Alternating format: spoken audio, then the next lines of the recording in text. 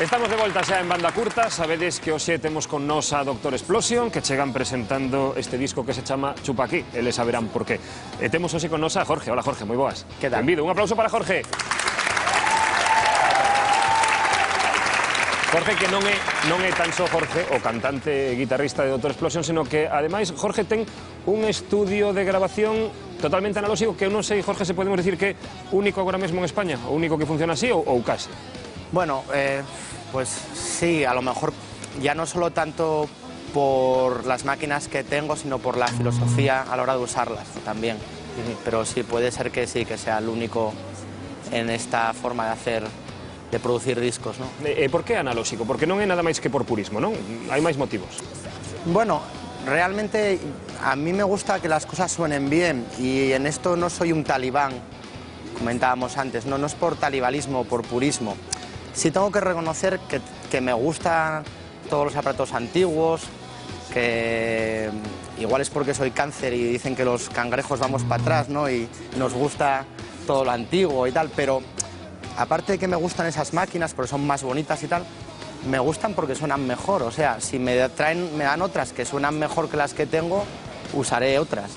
Pero da la casualidad que estos aparatejos antiguos que utilizo, aparte de ser mucho más chulos estéticamente y tener ese valor estético y de, y de cosas del pasado, históricas en cierto sentido, pues también es que suenan mejor y por eso son las que Antigos, de, que época? De, de cando estamos a falar? Pues a ver, pues microfonía de la BBC de los años 30, años 40, eh, mesas de mezclas de los años 50 y 60, grabadores de cinta eh, años 60, tengo un Telefunken de los 60. Bueno, e non, Otari. e non é nada máis que sigan funcionando, senón que neste ano, no, no pasado ano, 40 discos gravamos, gravaches nese estudio. Sí, A, sí. Algúns deles, por exemplo, hoxe temos un programa eh, moi centrado no reggae, a parte de Doctor Explosion. Sí. Algo de reggae que pasara polo teu estudio?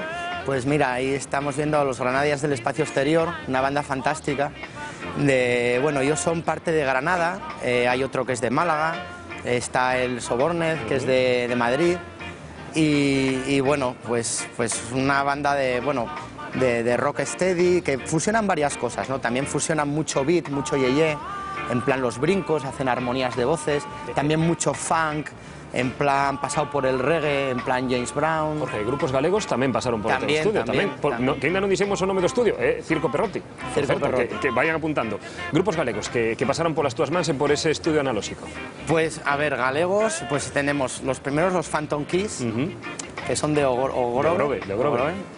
Ahí el gran, el gran, el gran Marky y, Hai- y hai- Roy. Por, por exemplo, estamos vendo agora Loveless Cousins, non? Esto es, Loveless Cousins son de Coruña. Son de Coruña. Sí, esto es pues una banda rockabilly y rock and roll 50 muy clásica, eh, con Néstor a la voz, que es un cantante fantástico. Y, y bueno, esto es- ha sido mi récord, es la vez que más rápido he grabado un disco con ellos.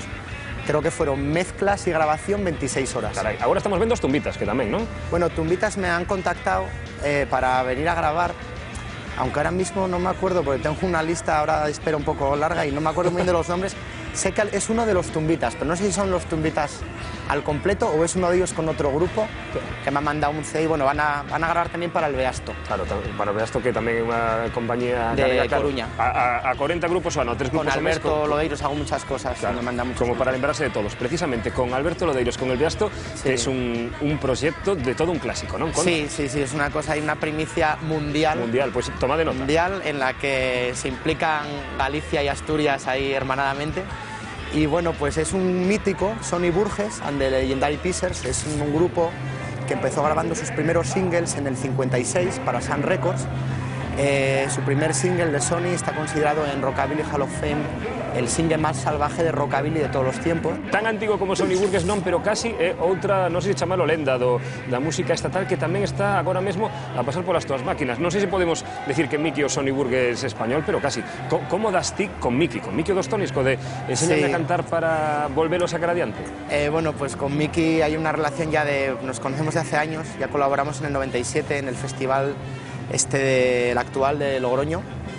Y, y bueno, pues vino hace poco a tocar Asturias y me invitó a comer y bueno, le enseñé el estudio y, y ahí se entabló nuestra relación de amor eh, como yo productor y él como artista y, y bueno, estamos ahí haciendo un gran disco de rock and roll en el cual pues estoy rescatándolo un poco para los fans del rock and roll. Pois nada, rock and roll é o que queremos ver agora nun momentiño con Doctor Explosion, porque estamos falando todo o rato da faceta de productor de Jorge, pero o que queremos é ver por nos estudios. Se Sony Burgess tiña o disco de rockabilly máis salvaxe, o directo de Doctor Explosion, casi que igual. O sea que se che parece, vas cara ao escenario, en un momentiño te escoitamos. Moi bien. Graciñas, Jorge. Venga, un aplauso.